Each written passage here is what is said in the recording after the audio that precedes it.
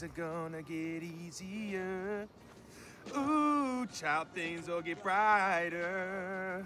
So, have you ever watched a movie, something amazing or generic or not even that good, and noticed a moment that stood out in some way? Something that felt like it was playing around, not so much a meta wink at the audience, but one of those just fun little unique human moments that make you laugh, that feel cool, that mainly you may not have seen before. Action films especially really benefit from these, I think, as the genre has become so saturated over the years with conventional stories and characters that these small, unconventional moments feel like a huge breath of fresh air, even if just for a minute. I'm not talking about films based on subverting cliche and convention entirely, such as how Die Hard's everyman character of John McClane was a reaction to the 80s one man army muscle bound meatheads, but instead just those little moments that are hard to describe objectively.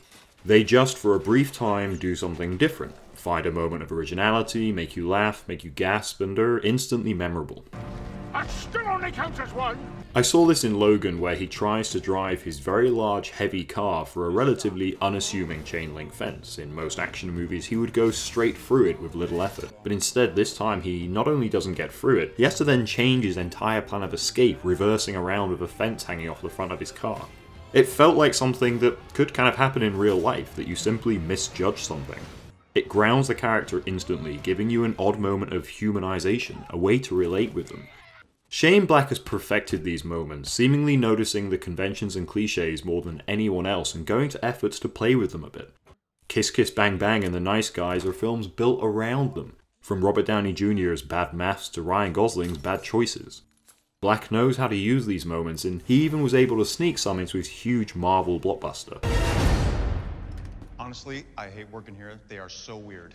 How many times have you seen wave after wave of bad guys unquestionably give their life to someone, and you think, really? I'm shocked that outside of something like Austin Powers, this hasn't been played with more. Why wouldn't you just quit? Even just small moments of skill, of a tiny obstacle, a mistake, or taking advantage of a situation can simply make you smile or feel cool. Liam Neeson playing dead in Taken, John Wick having to reload mid-killing, the Expendables all turning on one unfortunate henchman. They may only appear for a second, but each one of these are some of the more memorable moments from each of these films. Now, I'm not just talking about jokes, and obviously we see this sort of thing a lot in comedy. Bob? Wait. And Deadpool took it to the absolute max, but it's in the non comedy films I love seeing them. They're just slightly quirky moments within otherwise not so quirky movies. I didn't want to make a top 10 quirky moments list, as this isn't supposed to be in any way exhaustive. I just wanted to highlight something that I enjoy seeing, and hopefully from you guys find out if there are any more out there. Let me know those memorable little moments in films, action or otherwise, that stuck out to you as feeling different and unique when a film very briefly slowed down and reminded you that its characters are real people.